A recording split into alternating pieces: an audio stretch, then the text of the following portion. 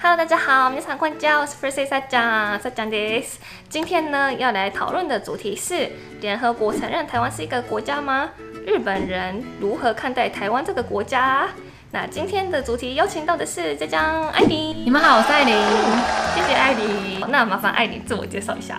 哎、我好像有出现在过你。对对对对对对对对，我的频道是艾琳的日常，然后蛮常做一些日韩旅游相关的一些影片。现在因为不能出国了，所以我们就会做一些聊天的影片。我今天想要问艾琳的一个新闻啊，是说联合国好像第一次称呼台湾为 T A I W A N 台湾，你知道这件事情吗？我好像有看到那个新闻。嗯嗯嗯，对，那它其实是在三月二十二号的世界水日，这个是提倡水资源保护的日子。然后在官网上面就提到台湾的时候，它就是用英文的这个台湾去称呼台湾。我想要知道，就身为台湾人的艾琳会怎么看这件事情？他想在问我的时候，其实我当时有看到这个新闻，他的这个新闻下面是写说很多人很惊动，网友就很开心这样子。它的原因是因为之前可能是我们只能用 Chinese Taipei，很像这是一个城市的感觉去称呼我们，然后我们每一次去参加任何的国际活动都变成一定要说我们是 Chinese Taipei，中华台北。那这是第一次用台湾，那我这边就是只讲我自己个人的观点，这我不代表所有台湾人的观点。你为什么会特别关注到这个新闻？我还蛮有蛮有哦，兴趣真的吗？呃，就不管是台湾还是日本的那个新闻，这两国的事情，或者是世界的一些新闻，我也都很有兴趣，所以我就都会去看。可是啊，我觉得我个人常年住在台湾的，我的个人观察，就是之前在我的其他部影片也有提到，我认为啊，台湾像年轻人的投票率虽然很高。但是我觉得这个选举过后啊，这个热度过后，在自己主动的搜寻资料，然后去关心国家的人，我觉得是非常的少，这是我的感觉。因为我觉得在台湾好像选举投票变成一种潮流，变成一种流行。我我会我在台湾有这种感觉。那像我自己的个人的立场，我是觉得台湾就是一个国家，就是不管在国际上大家是怎么样觉得，但是我觉得就实质上来说，我们有自己的法律、自己的民选总统，然后自己的军队、自己的内政，所以它就实质上来说，我们绝对是一个实质上的国家。那所以我这边也蛮好奇，因为因为我之前有去日本留学过，我也想问沙酱，那日本人会觉得台湾是一个国家吗？哦，了解。那我讲一下我自己的经历，对。因为我是十几年前来台湾的嘛，老实说，那个时候日本全国还是有很多人不知道台湾这个地方这个国家。像现在社会的话，会起码知道台湾是讲中文的地方。可是之前是这样子，你知道吗？我之前去日本念书的时候，我最常被问到的问题就是台湾讲的是求沟沟沟还是台湾沟？啊，对对对，其实这个问题啊，到现在都还是日本人的疑问。台湾那就是讲台湾国，会 会有这样子的想法。对，因为、为什么会这样？是因为我们在去交换留学的时候，其实现在是很多日本人想要学中文的，对对对，但是他们不晓得问台湾人能不能学到他们想学的求沟沟沟。嗯嗯，而且其实，嗯，很多人也不知道，可能中国的中文跟台湾讲的中文会有一些不一样吗。对，那一般就是如果没有特别去了解华人文化的日本人的话，是不晓得的。对，嗯嗯嗯，对，我觉得这边很有趣的地方是，就像是沙讲说的，我也是在去日本才知道，说很多人其实不知道台湾是个国家，或者是甚至有台湾这个地方都不知道，还跟一些就是比较欧美圈的人以为就是 Thailand、台湾傻傻分不清楚这样子。哦，对，那确实有这样的情况，但是是直到九年前的三一一日本东北大地震，台湾做出非常友善的帮助嘛。好像我们捐钱是几乎是世界第一多，嗯，然后这么小的国家这样。对对对，所以就是因为一直被报报道这件事情，就知名度大开。所以当日本人开始意识到有台湾这个地方或这个国家的时候，日本人他们想的是 ROC 还是想的是就是一个 country？哎，其实我觉得在日本人的心目中，台湾是一个国家，哎，真的哦，真的。真的哦、嗯，像我以前在日本读的是在日本东京新宿的学校，那那边环境可能比较国际化，因为有世界各国的人。所以班上的同学们好像也都蛮有国际观念的。就我我的感觉是，班上的人也认为台湾是一个国家。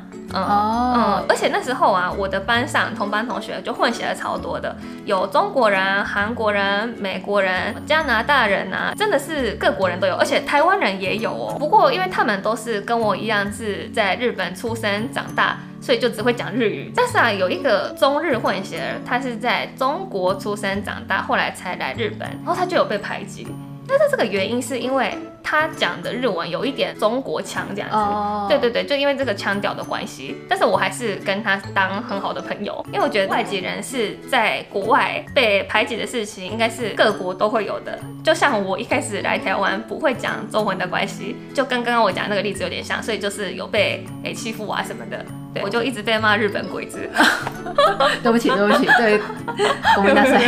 我跟艾琳分享，不知道你会不会觉得惊讶？就我以前在日本的时候啊，我感觉那时候的主流在日文中称呼中文这个东西啊，日文会讲说北京語，会讲是北京语，对。但是现在的主流就又变成是去国各国中国语了，对。所以我不知道这个中间的这个转变是。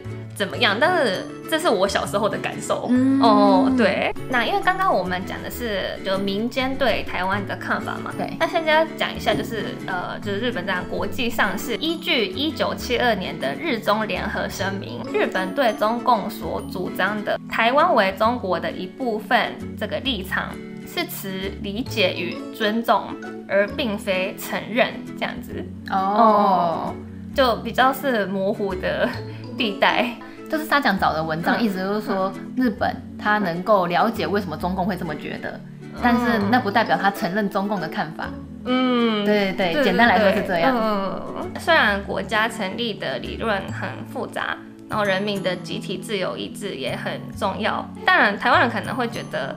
台湾是一个国家，对，但是也必须要让别人去认同台湾是一个国家的话，那可能还是要有一些法律的这个程序嘛，去外显让各国看到嘛。所以我觉得你问的这个问题还蛮关键的，嗯。嗯嗯，就是因为像虽然我们前面一直说大家可能有普遍的意识，我们有自己的主权啊，主权独立的国家，我们认为自己是国家，但是呃为什么会今今天这个联合国的新闻，其实还是很很大一部分的网友是觉得很开心很认同，因为这是我们不断持续在国际上做努力的结果，嗯嗯嗯，就还是是一个很大的进步，对，一个很大的进步。然后像是刚才沙讲有问说，那我们怎么样去一直去告诉国际社会？这件事情，以这次最明显，就是说，在我们在这一次疫情里面扮演很重要的角色，像是很多其他国家都现在都在看台湾怎么做，哦，就是说台湾之前一个早就二月什么时候就说禁止国口罩出口，哦，这个我有做 出口，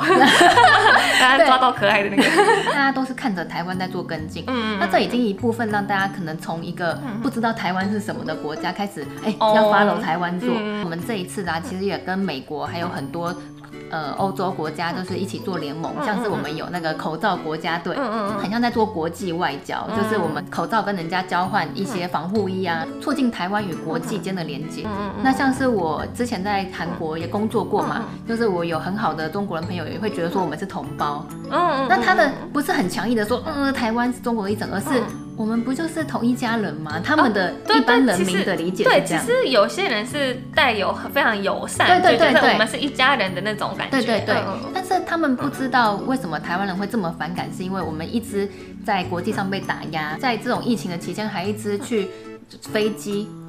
共军的飞机就是一直要侵袭台湾，你有看到这个新闻吗？有，就觉得说我们怎么可能会对一个对我们这样充满敌意的国家认为说我们是一家人？这不可能的事情哦，这个很复杂，真的很复杂。我目前对未来是往正向的方面去看。哦，了解了解。我必须说，我是非常有自己主观意识的人，然后我也是。我也很有自己的想法，那我一样不代表所有台湾的立人的立场，所以一样不管你们对这些什么样的看法，也都可以在下面留言。但是我就只代表我自己。嗯，了解了解。今天很谢谢艾琳跟我讨论，谢谢，谢谢，很开心可以听到日本的观点。那我们在那个艾琳的频道中也有合作影片。哎，那个影片的主题是我们在讲东京奥运为什么日本人坚持不延期，还有不停办的原因。对对对，而且是非常热腾腾的消息。没错没错。对，如果觉得影片有趣的话，麻烦帮我们按赞、留言、分享哦，也别忘记订阅加小铃铛才有通知。Facebook、Instagram 也有用中日文分享资讯，也欢迎追踪。那我们下集影片再见，拜拜，拜拜。